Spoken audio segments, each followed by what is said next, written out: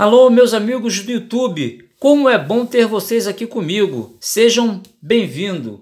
Hoje estou trazendo para os senhores essa raridade. É uma cédula de cinco cruzeiros do Barão do Rio Branco. Esta cédula circulou de 1950 a 1965. Aqui está, segunda estampa, série 3864, o medalhão aqui escrito Tesouro Nacional, Barão do Rio Branco aqui. Isso aqui é uma cédula feita pela Thomas de la Rue Company, é, Londres, Inglaterra, ok? Aqui no reverso temos aqui é, uma pintura que representa a conquista do Amazonas. Uma cédula muito bonita, muito bem conservada aqui, ó, cédula soberba, tá? E eu vou mostrar aqui sobre os valores desta cédula.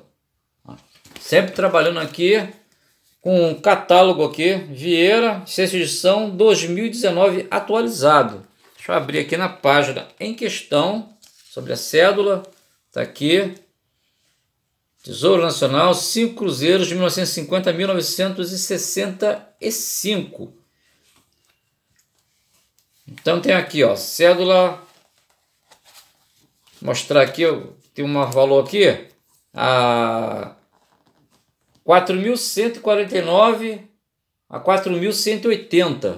Cinco reais MBC, 20 soberba e 50 reais flor de estampa. Também aqui tem a série 3.000, é, 4.181 a 4.200. R$ reais MBC, R$ reais soberba e R$ reais flor de estampa. Essa cédula aqui, temos aqui o diretor da Caixa da Amortização, Sérgio Augusto Ribeiro, e ministro da Fazenda, Otávio Bulhões. Ok, pessoal? Então, é isso aí. O, tem, tem muitas cédulas, todas elas têm um valor. Muita gente fala assim, ah, é, essa cédula não vale nada. Claro que vale, toda cédula tem um valor. Flor de estampa, soberba, e até MBC. Né? Só no caso a minha aqui, soberba. Aqui, ó. Sempre tem um valor. Ok? E aqui está aqui, sobre a cédula do, do Barão do Rio Branco, que na verdade, fala um pouquinho sobre ele rapidamente. O nome dele era José Maria da Silva Paranhos Júnior, advogado, diplomata, jornalista e historiador, e ministro também das Relações Exteriores. Nasceu em 20 de abril de 1845 e morreu em 10 de fevereiro de 1912. Ok, pessoal?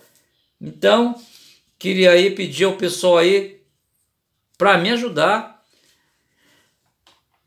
dar um joinha, um like, se inscrever no canal para receber aí os vídeos que eu tenho colocado todos os dias, compartilhar com parentes, amigos de trabalho, amigos próximos onde mora e também deixar seus comentários. Tudo será bem-vindo. Vou finalizando por aqui. Obrigado pela atenção dispensada. Um abraço e até o próximo vídeo.